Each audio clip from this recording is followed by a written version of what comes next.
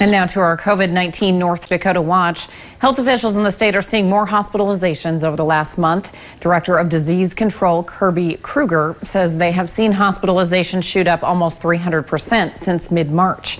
As of right now, 37% of the current hospitalizations are under the age of 60, 25% under the age of 50. Kruger says there are multiple reasons that could play a factor.